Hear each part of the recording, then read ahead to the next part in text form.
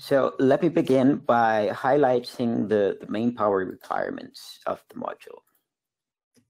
Uh, for the first time, we're offering uh, modules with this wide input voltage range from 3.135 volts to 5.5 volts. This makes it possible to directly use single cell lithium ion batteries to power these modules.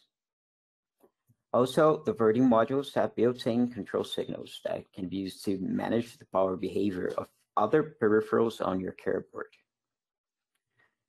We designed Verdin for a max TDP of 5 watts, uh, but allowing for higher peaks. So we recommend designing for a TDP of 10 watts or more. Most GPIOs run on a 1.8 volt logic level. Most newer SoCs tend to run GPIOs on that voltage, and we're seeing more peripherals that operate on that voltage, but you can always properly level shift if you need. To make things easier, uh, the Verdin SoMs output a 1.8 volt, 250 milliamp reference voltage, which you can use to power peripherals on your carrier board without necessarily including a separate buck converter. Before I get into analyzing some use cases, let me quickly present some terminology used for the power control signals they will look like the name of the function dash the direction of that control, which can be either an output from the module to the carrier board peripherals. Uh, this is MOCI for module out carrier board in, or an input to the module from the carrier board peripherals, MICO for module in carrier board out. Also, a hash at the end of the signal name means the signal polarity is reversed. I mostly refer to this as active low. Uh, these are some of the signal names extracted directly from the design guide. For example, the, the first one, control reset MOCI hash, is an output from the module to reset carrier board peripherals and, and comes directly from the SOC reset signal. Hash at the end means this is an active low signal, so a low level signal means to reset and a high level signal means normal operation. Check out the last one, which is control reset MICO hash. It is an input to the module. This means it resets the module when asserted or shorted to ground as it's active low. Explain all the signals as we encounter them in the use case analysis. Let's go to the first of the couple use cases uh, we're going to go over today. I'll highlight the main points while analyzing the block diagram uh, top to bottom.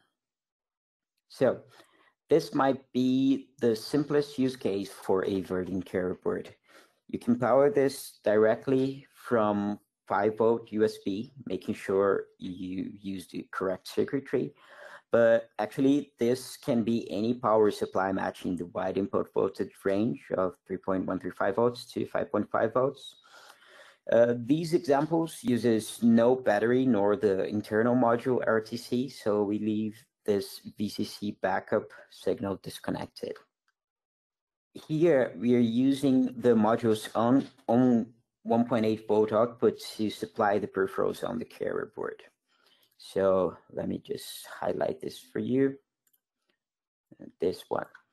We're using this 1.8 volt output to supply the peripherals on the carrier board here.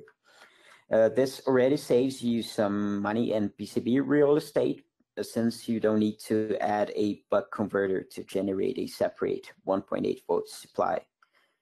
That would be necessary here if you didn't have this, this signal here uh, you, you you're just going to need this buck converter if your peripherals use more current than the 250 milliamp that the module can provide.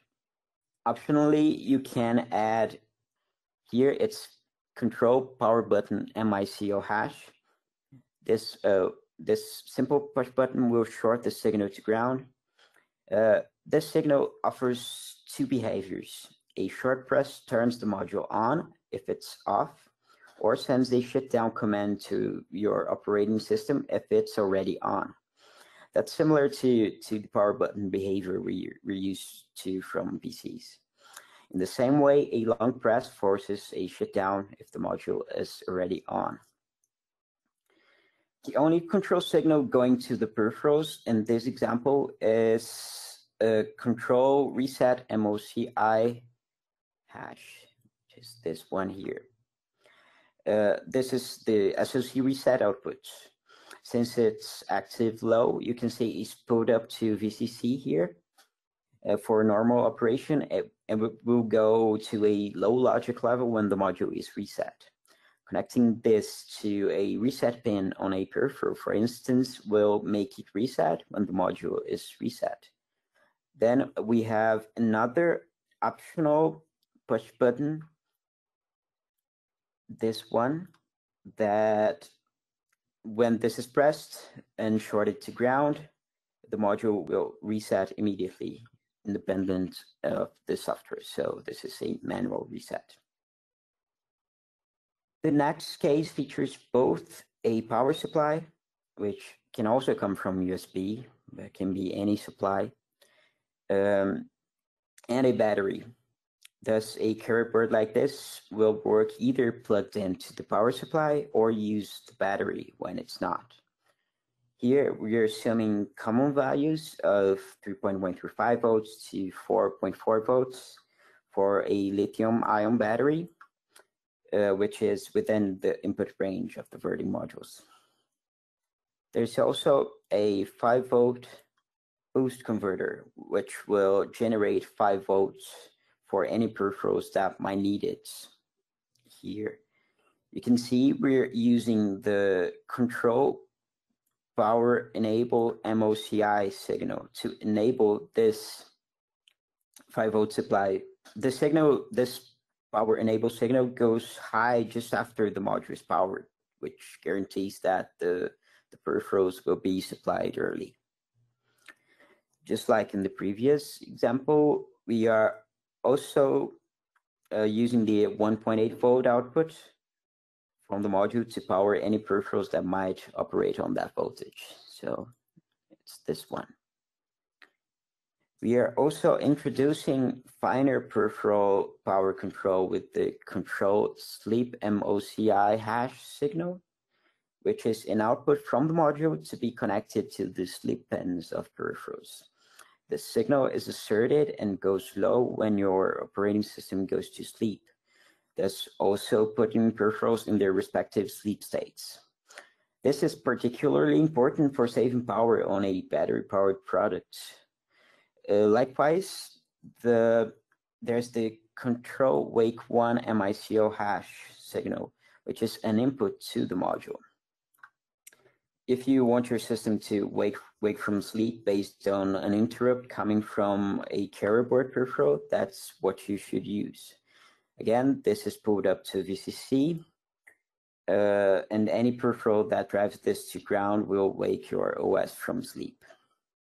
As in the previous uh, example, the, the control reset MOCI hash signal is connected uh, and will reset carrier board peripherals when the module resets.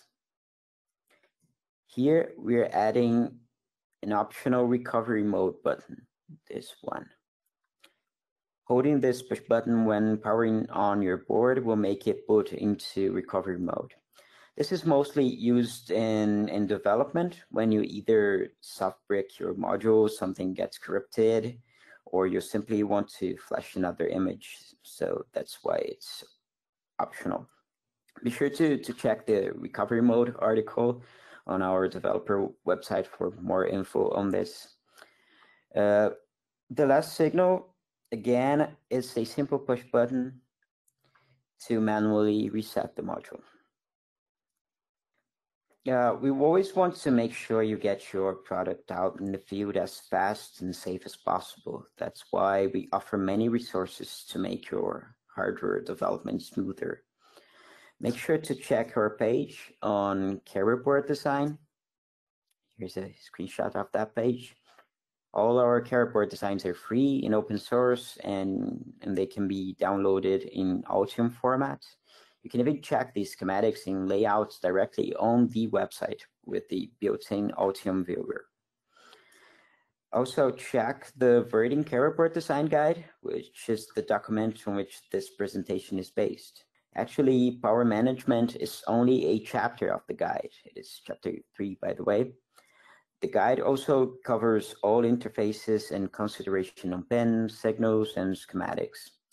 Um, mechanical and thermal aspects are also co covered there.